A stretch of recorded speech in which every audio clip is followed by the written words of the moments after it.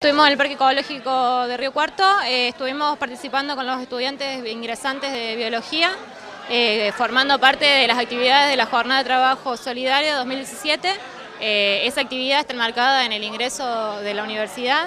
estuvimos colaborando con lo que son tareas de mantenimiento, con pintura, rastrillaje, limpieza, también como parte de colaboración y con la articulación que tenemos con el parque.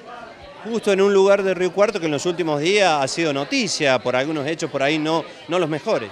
Así es, eh, estuvimos charlando sobre los eventos que acontecieron y nos comentaban que fueron bastante repetitivos eh, a lo largo del tiempo, que ahora la tarea es darlo a conocer, es difundir, es concientizar para que la gente conozca y podamos entre todos colaborar para evitar ese tipo de, acontecimientos.